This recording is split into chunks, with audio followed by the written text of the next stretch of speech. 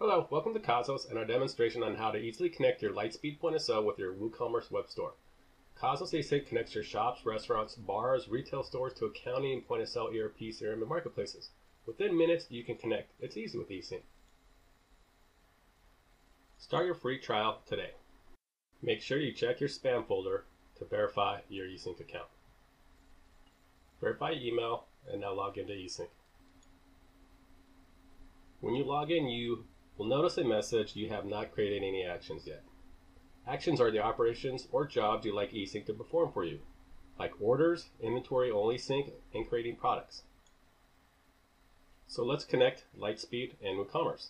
Click Create Action, choose a logo, Lightspeed Point of Sale, grant access, give friendly name,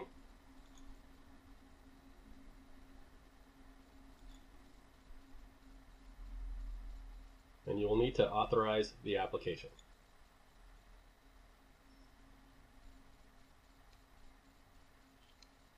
Click on Lightspeed and you'll see your new connection. Click Continue. Now do WooCommerce. Grant access. Just follow the instructions listed to your right on how to connect to WooCommerce. Give your account a name.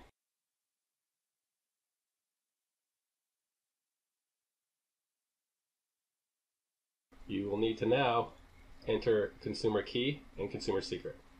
WooCommerce, settings, click advanced, REST API,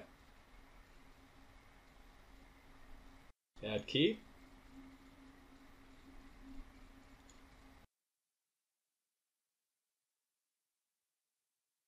Make sure you give read and write permissions. Generate key. Copy the key into your configuration.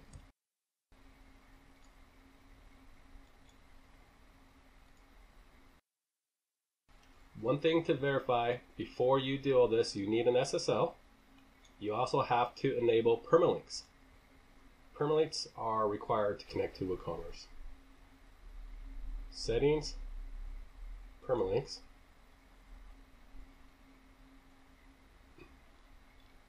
And custom base product permalinks are enabled. Now, time to grant access. Lightspeed, WooCommerce, continue. At this point, you can add the actions that you would like to use for your integrations. I suggest send standard items to WooCommerce first. Continue. Now hit save. If you like to give it a friendly name, if you have multiple locations, you can. I'm going to hit save at this point. Before you can use your action, you will need to configure it first. Click Configure. Read instructions to the side. You can click Skip to continue. To update a product, we go by timestamp. The timestamp will let us know when the product was updated and will only update those items Choose your shop ID, and if you have one location, your ID will be 1. If you have two locations, your ID for that second location will be 2. Then choose your SKU. You can choose System SKU, UPC, Custom SKU, or Manufacturer SKU. We're going to choose Custom SKU. And hit Save. Now that you've configured your action, you'll need to add it into a task. Your task is used to schedule your jobs or run on demand. Create task. Add action.